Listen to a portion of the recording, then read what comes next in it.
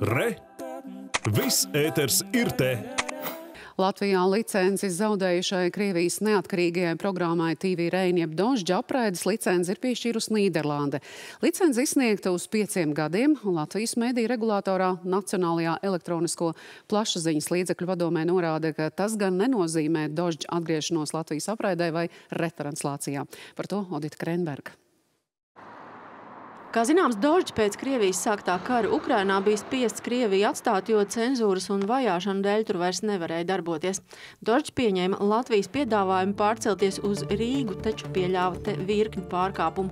Tas nepildīja likuma prasību par latvisko tulkojumu, demonstrēja kārti ar Krīmu Krievijas sastāvā, sauca Krievijas armiju par savējo un runāja par palīdzēšanu tai.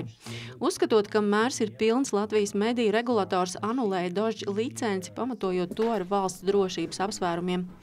Jaunā Nīderlandē iegūtā licence nedod tiesības tomēr atgriezties Latvijas apraidē vai, piemēram, kabeļtīklos, jo citās valstīs ārpus Nīderlandes tam vajadzīgas atsevišķas atļaujas. Ja viņi gribēs, tad viņiem būs jāvēršas NPLP vai viņu pārstāvjiem šajā gadījumā visticamāk ar lūgumu izsniegt viņiem retranslācijas atļauju, un mēs vērtēsim likumā noteiktajā kārtībā.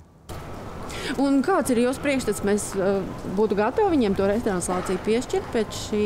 Nu, es nevaru jums atbildēt šo jautājumu. Tad, kad uh, viņi izrādīs vispār šādu vēlmi, un tad, kad viņi būs iesnieguši dokumentus, mēs uh, vērtēsim un pēc tam pieņemsim uh, attiecīgus lēmumus. Padoms priekšsēdētājs uzsver, ka Dožģi ir domājis par Nīderlandes licences iegūšanu jau vismaz vairākas dienas pirms tika anulēta licence Latvijā. Redzams, ka 6. decembrī licences anulēšanas dienā tas gan ar citu nosaukumu TVR studijos BV jau ir reģistrējies Nīderlandes tirdzniecības kamerā un tam ir birojas Amsterdamā. Pārceļot galveno redakciju uz Amsterdamu, Dožģi Rīgā pagaidām plāno saglabāt biroju ar dažiem darbiniekiem. Un zināms, ka Latvijas lēmumu par licences anulēšanu Dožģi apstrīdēs tiesā. Olita Krenberga, Dzintars Spriņģis, Latvijas televīzija.